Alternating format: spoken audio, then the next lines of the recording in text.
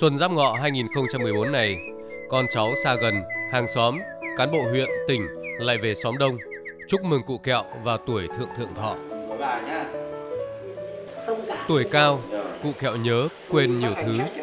Nhưng có một câu chuyện, khi con cháu hỏi tới, cụ vẫn hồ hởi, thật thà mà kể được nhiều điều.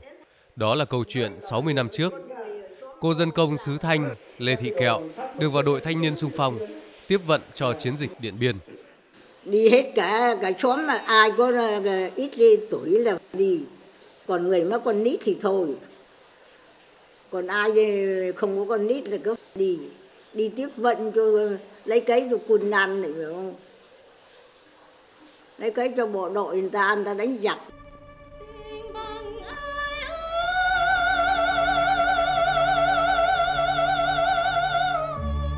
Vào năm 1954 lịch sử ấy, không chỉ xã Đông quê bà, mà cả huyện Đông Sơn, cả tỉnh Thanh Hóa này và nhiều tỉnh thành khác trong cả nước, chi viện cho tiền tuyến lớn đánh giặc đều đã thành một hậu phương lớn. 60 năm nhìn lại, các nhà nghiên cứu và những người trong cuộc ở cả hai phía đều nhìn nhận một thực tế. Chính Pháp chứ không phải quân đội Việt Minh lúc đó đã chọn Điện Biên Phủ là nơi sẽ diễn ra cuộc quyết chiến cuối cùng để tiêu diệt đối phương. Nava, tướng tổng chỉ huy quân đội viễn chinh Pháp ở Đông Dương, đã coi Điện Biên Phủ là cái bẫy, là cỗ máy nghiền nát quân chủ lực của Việt Minh. Sau này, trong cuốn hồi ký của mình, Đại tá Pierre Lanclay, chỉ huy phó của tập đoàn cứ điểm Điện Biên Phủ cũng đã xác nhận. Ở Điện Biên Phủ, nếu người ta muốn nhìn thẳng vào sự thật, thì ắt phải thấy rằng viện trợ cho Việt Minh chỉ là một giọt nước đặt bên cạnh dòng thác vật tư của Mỹ đổ vào cho người Pháp chúng ta. Quả thật, Điện Biên Phủ là một tập đoàn cứ điểm mạnh của quân đội Pháp. Với quân số tới hơn 16.200 người, thuộc các lực lượng tinh nhuệ bậc nhất Đông Dương, đóng trong 49 cứ điểm chia làm 3 phân khu yểm hộ lẫn nhau với nhiều vị tướng quân sự tài ba của Pháp. Cứ điểm Điện Biên Phủ như tướng Mỹ O'Daniel đã khen, đó là thành lũy không thể công phá được. Chuyển từ phương châm đánh nhanh thắng nhanh sang đánh chắc thắng chắc từ cuối tháng 4 năm 1954 tại Việt Bắc dưới sự chủ tọa của Hồ Chủ tịch, Trung ương và Chính phủ đã họp và quyết nghị toàn dân, toàn đảng và chính phủ nhất định đem toàn lực chi viện cho Điện Biên và nhất định làm mọi việc cần thiết để giành toàn thắng cho chiến dịch. Muốn thắng lợi thì phải tạo thành sức mạnh không ạ? Thì phải có lực, có thế, rồi có thời cơ, có cách đánh. Nhưng mà nếu mà đánh dài ngày, 56 ngày đêm như vậy, mà bộ đội lên từ tức là tháng 11, tháng 12, mà mãi đến tháng 5 1954 mới kết thúc trong 6 tháng trời mà đường ti viện từ Việt Bắc lên là 500 cây số đi qua ngã ba còi nòi theo đường 13 từ Yên Bái sang và thanh nghệ tỉnh thì đi theo cái đường quốc lộ 6 sau đó lên đường 41 đường độc đạo địch cho tập trung đánh phá nhất ở ngã ba còi nòi. Cho nên ta đã dùng được là sức mạnh của toàn dân. Tiền tuyến gọi cài miền Bắc những năm tháng đó là một hậu phương lớn. Trong các công xưởng, công nhân say sưa biến nhiệt tình yêu nước thành vô vàn súng đạn gửi gấp ra mặt trận.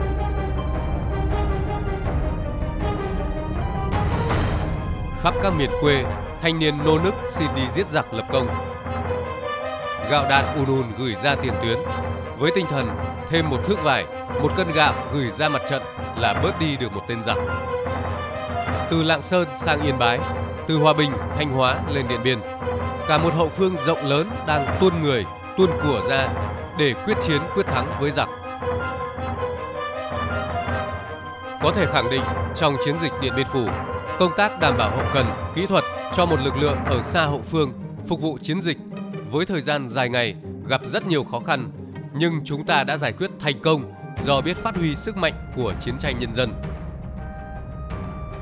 Trong chiến dịch Điện Biên Phủ, đồng bào các dân tộc Tây Bắc, Việt Bắc Liên khu 3, Liên khu 4 đã đóng góp hơn 260.000 dân công, gần 21.000 xe đạp thổ và hàng chục nghìn phương tiện vận chuyển thô sơ. Về đảm bảo vật chất, đồng bào đã đóng góp cho chiến dịch hơn 25.000 tấn lương thực, 907 tấn thịt và hàng nghìn tấn thực phẩm khác. đồng chí Nguyễn An, lúc đó là phó chỉ huy vận tải chiến dịch nhớ lại. Muốn có 16.000 tấn gạo tới đích phải có 384.000 tấn gạo huy động trong dân. Đây là con số quá lớn. Trung ương và chính phủ đã có những biện pháp động viên nhân dân Sơn La Lai Châu là lực lượng tại chỗ huy động được 7.360 tấn bằng 45% lượng gạo tiêu thụ của tỉnh dịch. Riêng huyện Tuần Giáo có 11.000 dân mà nộp 1.270 tấn, bình quân 116 cân một đầu người. Nếu mà so với lại cái cách canh tác ở địa phương chọc lỗ rồi bỏ thóc giống xuống thì mới có được cái hột gạo thì đây là một sự hy sinh rất lớn. Thế còn ở phương xa ví dụ như Thanh Hóa thì riêng Thanh Hóa là dân đang nói mà cũng đóng góp được 9.000 tấn. Đây là những các cái tấn gạo vét từ đáy bồ cuối cùng để gửi ra tiền tuyến. Cuối năm từ đầu năm năm Thanh Hóa bị đói. Chúng tôi là một phần rất quan trọng là vì trong bịch trong bồ ta quét hết rồi. Cho nên góp công vào cái thắng lợi của Điện Phủ không phải chỉ là những người dân công mà kể cả những người phải chết đói trong năm 1955 ở Thanh Hóa. Lúc bấy giờ, Thanh Hóa là vùng tự do rộng lớn, giàu tài nguyên về đất đai và Thanh Hóa những năm tháng đó cũng là hậu phương lớn chi viện cho chiến trường Điện Biên Phủ. Từng khúc sông, bến nước nơi đây đều đã đi vào câu chuyện dài của những năm tháng chống thực dân Pháp oai hùng đó của dân tộc.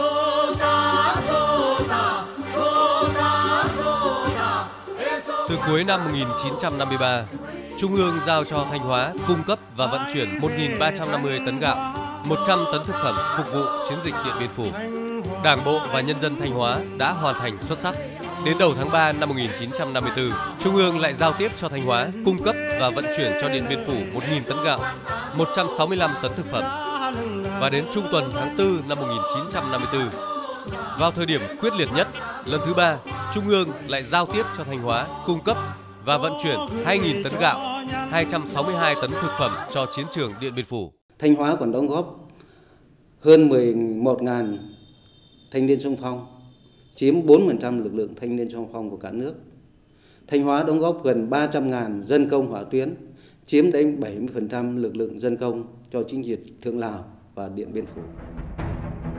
Những năm tháng gian lao mà anh Dũng ấy, không chỉ riêng xứ Thanh mà từ nông thôn đến thành thị, từ miền núi đến miền xuôi, nghe theo lời kêu gọi của Đảng và Bác Hồ, ra sức thi đua, xây dựng hậu phương vững chắc, đóng góp sức người, sức của, bảo đảm đầy đủ mọi điều kiện cho chiến trường, tiếp thêm ý chí quyết chiến quyết thắng cho các lực lượng vũ trang ngoài mặt trận. Thanh Hóa là nơi đầu tiên được tổ chức đợt đầu lựa chọn 5 đại đội thanh niên sung phong để lên đường nhận nhiệm vụ phục vụ chiến dịch trong cái kháng chiến chống Pháp.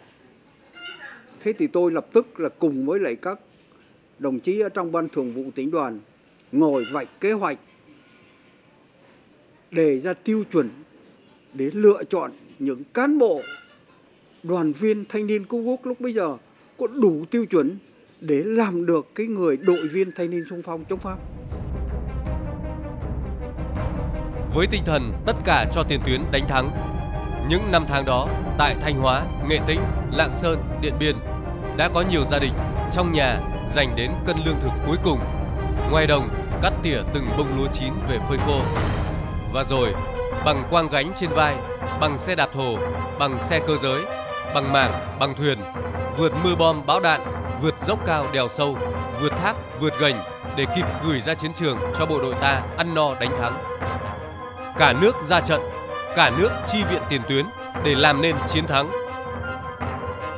Ở Điện Biên Phủ, đoàn kết dân tộc đã làm nên một sức mạnh vô song.